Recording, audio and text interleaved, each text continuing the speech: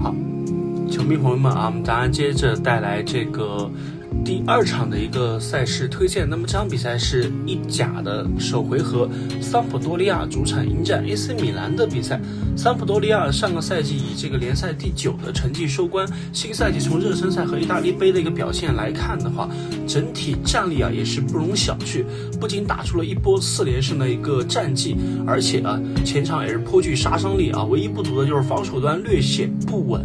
此前杯赛的话，区区这个面对这个一丙球队的话。也是只能勉强一球小胜，而且早早就两球落后啊！如此防守的话，这个，呃，这个暗含这个，呃，隐患啊，暗含隐患。此一面对这个米兰的这个犀利进攻啊，看能否顶住，还是值得商榷的。我们再看一下 AC 米兰这边，AC 米兰这个夏天呢，可以说是这个对阵容进行了一大番的一个重组。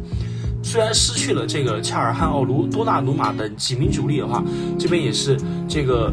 未有发一分钱啊，是引进了这个这个中场的托纳利，对吧？包括这个法国大前锋吉鲁啊，后防的话托莫里、巴罗等球员，可以说是现在的米兰。